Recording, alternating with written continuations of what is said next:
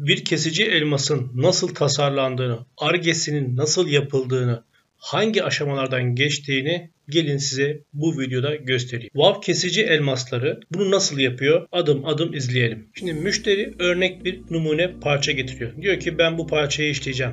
Bu parçaya uygun, tezgahıma uygun, hızlı bir şekilde işi hızlı çıkaracak bir elmas üretin bana diyor. Ve başlıyor Vav kesici takımdaki mühendis arkadaşlar projelendirme aşamasında bu elması geometrisinin ne olacağını, parçayı işlerken talaşı daha rahat nasıl atabilir, nasıl talaşı kırabilir bunu araştırıyorlar. Daha, daha sonra bunu 3 boyutlu programda tasarlıyorlar. Olası bütün hataları önceden görüyorlar. Sonra mühendis arkadaşlar takımları 3 boyutlu olarak nasıl parça üzerinde durduğunu, tezgahta nasıl işlenmesi gerektiğini, parçanın tezgaha nasıl bağlaması gerekildiğini ve parçanın tezgahta çalışırken tezgah gücüne göre kaç tane insert bağlayacaklarını 3 boyutlu olarak analiz ediyorlar. Buradaki mühendisler kendi aralarında tartıştıktan ve argesini yaptıktan sonra bilgisayar destekli CNC makinalarında son teknoloji Endüstri 4.0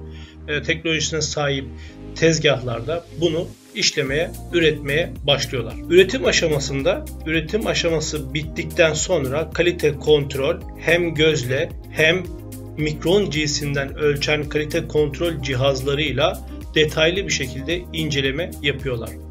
Buradaki mühendis arkadaşlar olası ürün hatalarını son kullanıcıya ulaşmadan gerekli kalite kontrol ve kaplama işlemleri yapılıp kontrol edildikten sonra markalama işlemi yapılıyor ve son kullanıcıya sağlam ürün çıkarmak için bütün detaylı incelemeler yapılıyor ve sonra paketleniyor ve böylelikle sorunsuz bir vav kesici takımına sahip oluyorsunuz. İşinizi hızlandırmak için işinize özel profil elmaslar yaptırabilirsiniz. İmalatta yani talaşlı üretimde vakit nakittir. O yüzden bir iş ne kadar kısa sürüyorsa o kadar düşük fiyat verirsin ve işi alma olasılığında %70, %80 artar. İzlediğiniz için teşekkürler. Destek için kanala abone olmayı unutmayın.